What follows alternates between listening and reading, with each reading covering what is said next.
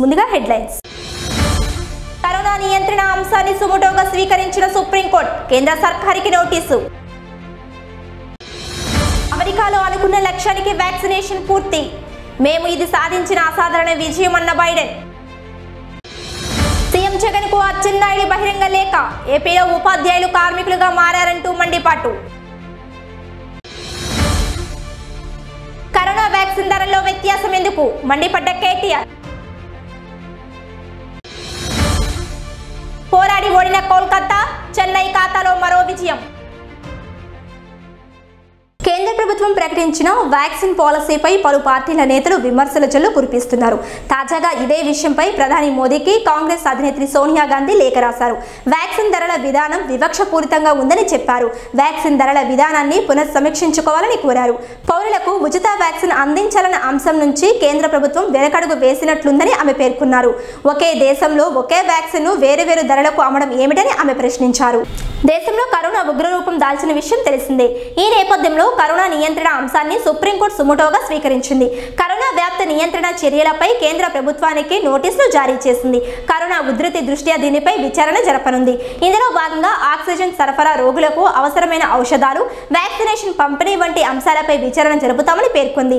అలాగే లాక్డౌన్ విధించే అధికారం రాష్ట్ర ప్రభుత్వాలకు ఉందని సుప్రీంకోర్టు తెలిపింది. అయితే లాక్డౌన్ పై నిర్ణయం తీసుకునే అధికారం న్యాయ వ్యవస్థకు లేదని స్పష్టం చేసింది. రేపటి నుంచి కరోనా నియంత్రణపై విచారణ జరుపుతున్నట్లు తెలిపింది. ఈ నెల ఇరవై ఆరున దేశవ్యాప్తంగా బంద్కు సిపిఐ మావోయిస్టు పార్టీ పిలుపునిచ్చింది. ఈ మేరకు ఆ పార్టీ అధికార ప్రతినిధి కైలాసం పేరుతో ఓ లేఖ విడుదలైంది.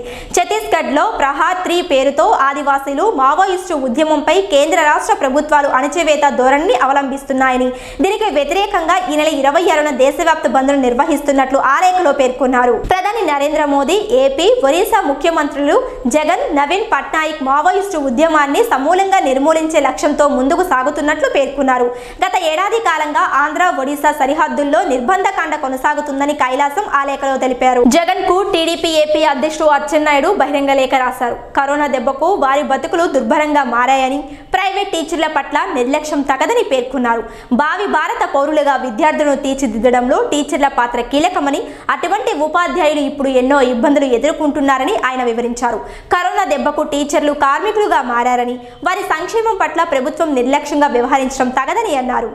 ఉపాధి కోల్పోయిన బోధన బోధనేతర సిబ్బందిని ప్రభుత్వం ఆదుకోవాలని వారికి పదివేల చొప్పున ఆర్థిక సాయం అందించాలని డిమాండ్ చేశారు. ఆంధ్రప్రదేశ్లో కరోనా విజృంభణ నేపథ్యంలో దాని కట్టడికి తీసుకోవాల్సిన చర్యలపై మంగళగిరి ఏపీఐఐసి ఆఫీసులో వైద్య ఆరోగ్య శాఖ మంత్రి ఆళ్ళానాని నేతృత్వంలో మంత్రివర్గ ఉపసంఘం సమావేశమైంది.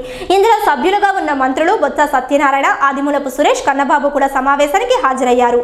కరోనా కట్టడికి తీసుకోవాల్సిన చర్యలపై డీజీపీ గౌతమ్ సవంగ్ ఇతర ఉన్నతాధికారులతో కలిసి మంత్రులు చర్చించారు. ఆంధ్రప్రదేశ్లో కరోనా రోగులకు పడకలు ఆక్సిజన్ వైద్య నిపుణుల నియామకం ఇతర సౌకర్యాలను అందుబాటులోకి తీసుకురావడంపై వారు చర్చలు జరిపారు. అలాగే కరోనా విజృంభణ అధికంగా ఉన్న ప్రాంతాలు ఆంక్షలు విధించే అంశంపై కూడా వారు చర్చించినట్లు తెలుస్తుంది. రెండవసారి భారతదేశం అందులో భాగంగా ఆంధ్రప్రదేశ్ రాష్ట్రంలో కూడా విజృంభించగా రాష్ట్ర ప్రభుత్వము అదేవిధంగా గౌరవ ముఖ్యమంత్రి గారు వెంటనే ఈ వ్యాప్తి వ్యాప్తికి సంబంధించిన తీవ్రత ఎదుర్కొనేదానికి ఎన్నో చర్యలు తీసుకోవడం జరిగింది. మొట్టమొదటిగా ఒక గ్రూప్ ఆఫ్ మినిస్టర్స్ కాన్స్టిట్యూట్ చేయడం జరిగింది. అందులో భాగంగా మెడికల్ అండ్ హెల్త్ మంత్రివర్యులు మరియు ఉప ముఖ్యమంత్రి వర్యులు వాళ్ళ నాన్నగారు senior minister municipal administration Botsa Satyanarayana garu agriculture minister Ambabu garu home minister Srimati Mekathoti Sundarath garu నేను ఒక గ్రూప్ ఆఫ్ మినిస్టర్స్ కాన్స్టిట్యూట్ చేసి రాష్ట్ర వ్యాప్తంగా ఎదుర్కొనేదానికి మరియు ప్రజల సౌకర్యం మరియు వివిధ డిపార్ట్మెంట్స్ ప్రభుత్వ విభాగాలు ఏవైతే మరి ఈ వ్యాప్తిని ఎదుర్కొనేదానికి పార్టిసిపేట్ చేస్తూ ఉన్నాయో దేశంలో కరోనా ఉగ్రరూపం దాల్చింది. నిన్న కొత్తగా మూడు లక్షల పద్నాలుగు వేల ఎనిమిది వందల ముప్పై ఐదు మందికి కరోనా నిర్ధారణ అయింది. వీటికి సంబంధించిన వివరాలను కేంద్ర వైద్య ఆరోగ్య మంత్రిత్వ శాఖ ఈ రోజు ఉదయం విడుదల చేసింది.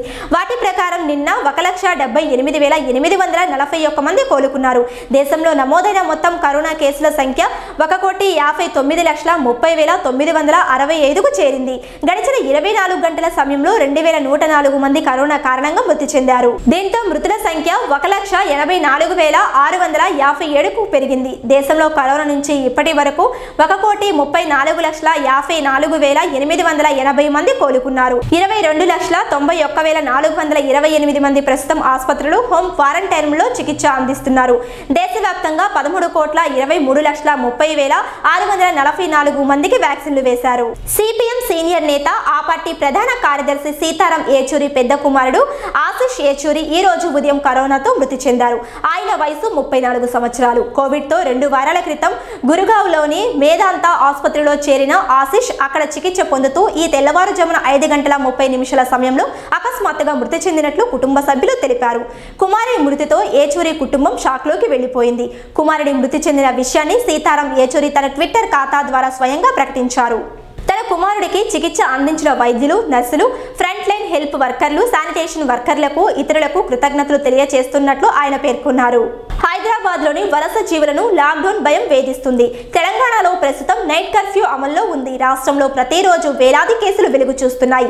వైరస్ కనుక అదుపులోకి రాకుంటే లాక్డౌన్ తప్పదంటూ వార్తలు షికారు చేస్తున్న నేపథ్యంలో హైదరాబాద్లోని వలస కార్మికులు స్వగ్రామాలకు పయనమవుతున్నారు. అందుబాటులో ఉన్న రవాణా సౌకర్యాలను ఉపయోగించుకొని సొంత ఊళ్ళకు పయనమవుతున్నారు. కుటుంబాలకు కుటుంబాలే తరలిపోతుండటంతో రాజధానిలోని శివారు ప్రాంతాలు ఖాళీ అవుతున్నాయి. ముఖ్యంగా కర్ణాటక తమిళనాడు ఒరిస్సా మహారాష్ట్ర ఛత్తీస్గఢ్ ఆంధ్రప్రదేశ్ నుంచి వలస కార్మికులు దాదాపు పద్దెనిమిది లక్షల మంది వరకు ఉండగా వీరిలో దాదాపు అరవై శాతం మంది వారం క్రితమే నగరాన్ని విడిచిపెట్టారు. మిగిలిన వారు కూడా వెళ్ళిపోయేందుకు రెడీ అవుతున్నారు. కరోనా వ్యాక్సిన్ ధరల్లో వ్యత్యాసంపై కేంద్ర ప్రభుత్వంపై తెలంగాణ మంత్రి కేటీఆర్ మండిపడ్డారు. కేంద్ర ప్రభుత్వానికి వ్యాక్సిన్ను నూట యాభైకి రాష్ట్రాలకు నాలుగు వందలకు సరఫరా చేస్తామని వ్యాక్సిన్ ఉత్పత్తి కంపెనీ ప్రకటించడాన్ని ఆయన ఖండించారు. ఒకే దేశం ఒకే పన్నును రాష్ట్రాలు అంగీకరించాయని. అలాంటప్పుడు ఒకే దేశంలో ఒకే వ్యాక్సిన్కు రెండు ధరలు ఎందుకని ఆయన ప్రశ్నించారు.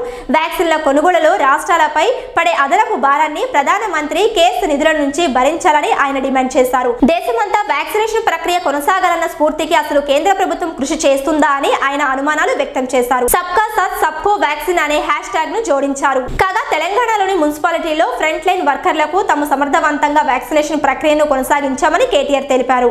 నూట నలభై ఒక్క మున్సిపాలిటీలలో వ్యాక్సినేషన్ ప్రక్రియ తొంభై ఐదు పాయింట్ ఐదు ఐదు శాతం పూర్తయిందని జీహెచ్ఎంసీలో తొంభై ఆరు పాయింట్ ఒకటి తొమ్మిది శాతం పూర్తయిందని ఆయన చెప్పారు.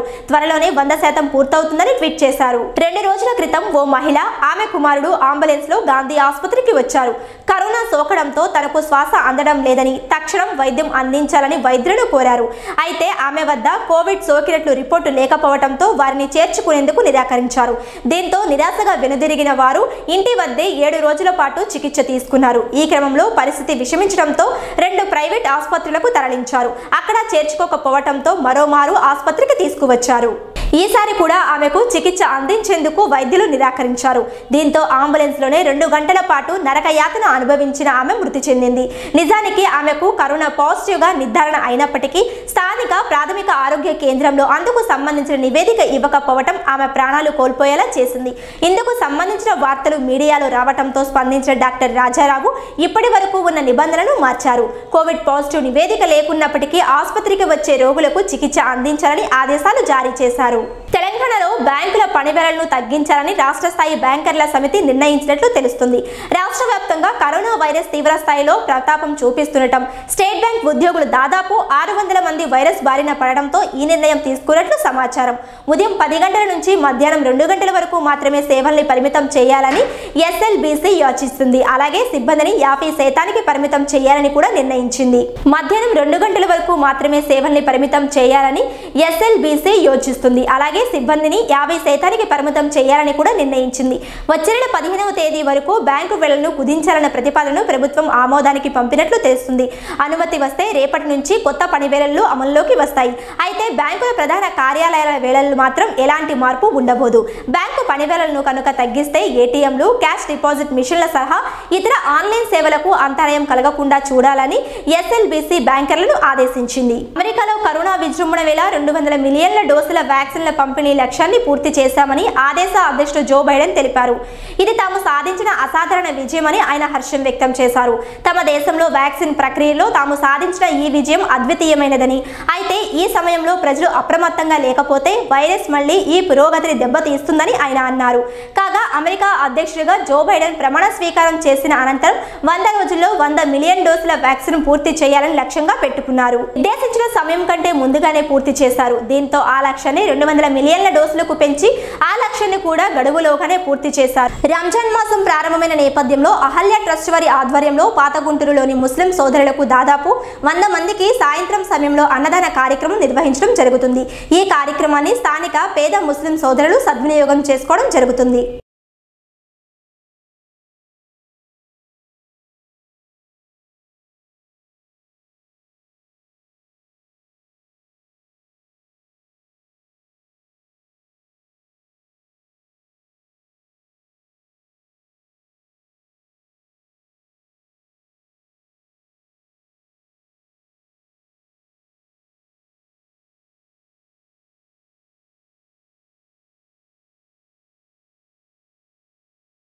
బాబు అల్లు అరవింద్ల తరువాత ఆ స్థాయిలో ఒక నిర్మాతగా దిల్ రాజు సక్సెస్ అయ్యారనే చెప్పాలి. నిర్మాత అంటే డబ్బులు ఇచ్చేసి ఖర్చు చేస్తే ఉంటే చూస్తూ ఉండేవాళ్ళు కాదని వీరంతా నిరూపించారు. కథలో కథనంలో చిత్రీకరణ సమయంలో వీరంతా భాగస్వాములు అవుతుంటారు. ఎప్పటికప్పుడు ఏం జరుగుతుందనే విషయంలో క్లారిటీ తీసుకుంటూ ఉంటారు.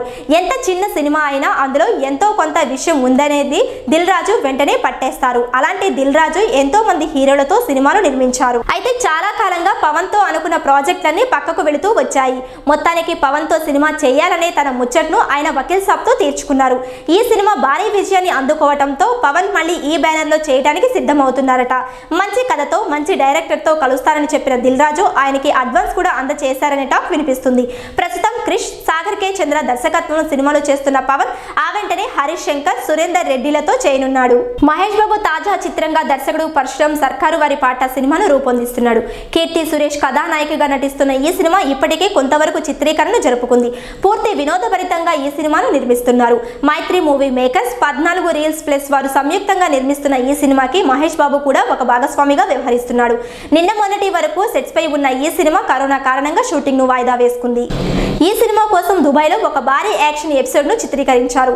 ఈ ఈ ఎపిసోడ్ చాలా బాగా వచ్చిందట. మహేష్ బాబు కెరియర్లోనే ఇది రిస్కీ ఫైట్ అని చెబుతున్నారు. ఈ సినిమా ఫైట్స్లో ఇది ఒక హైలైట్గా నిలుస్తుందని అంటున్నారు. ఈ యాక్షన్ ఎపిసోడ్ కోసం భారీగానే ఖర్చు చేశారట. ఆ ఖర్చు అంతా కూడా తెరపైన కనిపిస్తుందని చెబుతున్నారు. ఇక కృష్ణ పుట్టినరోజైన మే ముప్పై ఒకటవ తేదీన ఈ సినిమా ఫస్ట్ లుక్ రావచ్చని అంటున్నారు. ఇక మహేష్ బాబు బర్త్డేకి ట్రీజర్ను వదిలే అవకాశాలు ఉన్నాయని చెబుతున్నారు. సంక్రాంతికి ఈ సినిమా ప్రపంచవ్యాప్తంగా విడుదల కానుంది. ఐపీఎల్లో భాగంగా గత రాత్రి చెన్నై సూపర్ కింగ్స్తో జరిగిన హై స్కోరింగ్ మ్యాచ్లో కోల్కతా నైట్ రైడర్స్ పోరాడి ఓడింది. రెండు వందల ఇరవై ఒక్క పరుగుల విజయం లక్ష్యాన్ని ఛేదించే క్రమంలో రెండు వందల రెండు పరుగులకే ఆలౌట్ అయింది. ఒకనొక దశలో చెన్నైకు వణుకు తెప్పించింది కూడా. విజయం దిశగా పయనిస్తున్నట్లు కనిపించింది. అయితే టైలింటర్లు చేతులెత్తేయడంతో దినేష్ కార్తిక్ నలభై రసూల్ యాభై నాలుగు కమిన్స్ అరవై ఆరు పోరాటం వృధా అయింది. అయితే టైలిండర్లు చేతులెత్తేయడంతో దినేష్ కార్తిక్ నలభై రసూల్ యాభై నాలుగు కమిన్స్ అరవై ఆరు పోరాటం వృధా అయింది. జట్టులో నలుగురు ఆటగాళ్ళు శివమన్ గిల్ కమలేష్ నాగర్ కోటి వరుణ్ చక్రవర్తి డక్కౌట్లు కాగా ప్రసిద్ధ్ కృష్ణ పరుగులేమి చేయకుండా నాటౌట్గా నిలిచాడు. అంతకుముందు తొలుత బ్యాటింగ్ చేసిన చెన్నై ఈ సీజన్లో తొలిసారి రెండు వందల పరుగుల మార్కు దాటింది. రాజ్ గైక్వాడ్ అరవై నాలుగు డూప్లిసెస్ తొంభై ఐదు వీర విజృంభణతో స్కోర్ ఉరకలెత్తించారు వీరిద్దరూ బౌలర్లపై చెలరేగిపోయారు. బులియన్ మార్కెట్లో బంగారం ధరలు పతనమయ్యాయి. తాజాగా బంగారం ధరలు దిగిరాగా వెండి ధరలు సైతం పసిడి దారిలోనే పయనించాయి. తెలుగు రాష్ట్రాలలో బంగారం ధరలు దిగిరాగా ఢిల్లీలో పసిడి ధరలు తగ్గాయి. హైదరాబాద్ మార్కెట్లో ఢిల్లీ మార్కెట్లో వెండి ధరలు క్షీణించాయి. తెలుగు రాష్ట్రాలలోని విజయవాడ హైదరాబాద్ మార్కెట్లో బంగారం ధరలు స్వల్పంగా తగ్గాయి. తాజాగా నూట పది మేర తగ్గడంతో ఇరవై నాలుగు క్యారెట్ల స్వచ్ఛమైన బంగారం పది గ్రాముల ధర నలభై ఎనిమిది వేల నూట అరవైకి దిగొచ్చింది. ఇరవై రెండు క్యారెట్ల బంగారం పది గ్రాముల ధర నలభై నాలుగు వేల నూట యాభై అయ్యింది. దేశ రాజధాని ఢిల్లీలో బంగారం ధరలు స్వల్పంగా క్షీణించాయి. తాజాగా బంగారం ధర వంద రూపాయల మేర తగ్గింది. దీంతో నేడు ఢిల్లీలోని ఇరవై నాలుగు క్యారెట్ల బంగారం పది గ్రాముల ధర యాభై వేల ఐదు వందల ఇరవైకి పతనమైంది. అదే సమయంలో ఇరవై రెండు క్యారెట్ల బంగారం పది గ్రాముల ధర నలభై ఆరు వేల మూడు వందలు అయింది. బులియన్ మార్కెట్లో వెండి ధరలు మరోసారి పతనమయ్యాయి. ఢిల్లీలో ఒక కేజీ వెండి ధర ఆరు వందల మేర దిగొచ్చింది. నేడు ఢిల్లీలో ఒక కేజీ వెండి ధర అరవై ఎనిమిది వేల ఆరు వందలు అయింది. తెలుగు రాష్ట్రాలలో వెండి ధర దిగొచ్చింది. హైదరాబాద్ మార్కెట్లో వెండి ధర ఆరు వందల మేర తగ్గడంతో ఒక కేజీ వెండి ధర డెబ్బై మూడు వేల ఆరు వందలకి పతనమైంది. బులెటిన్ ముగించే ముందు హెడ్లైన్స్ మరోసారి. కరోనా నియంత్రణ అంశాన్ని సుముటోగా స్వీకరించిన సుప్రీంకోర్టు కేంద్ర సర్కారికి నోటీసు. అమెరికాలో అనుకున్న లక్ష్యానికి వ్యాక్సినేషన్ పూర్తి. మేము ఇది సాధించిన అసాధారణ విజయం అన్న బైడెన్. సీఎం జగన్కు అచ్చెన్నాయుడు బహిరంగ లేఖ. ఏపీలో ఉపాధ్యాయులు కార్మికులుగా మారారంటూ మండిపాటు. కరోనా వ్యాక్సిన్ ధరల్లో వ్యత్యాసం ఎందుకు? మండిపడ్డ కేటీఆర్. పోరాడి ఓడిన కోల్కతా చెన్నై ఖాతాలో మరో విజయం. మరిన్ని అప్డేట్స్ కోసం చూస్తూనే ఉండండి ఏబీసీ న్యూస్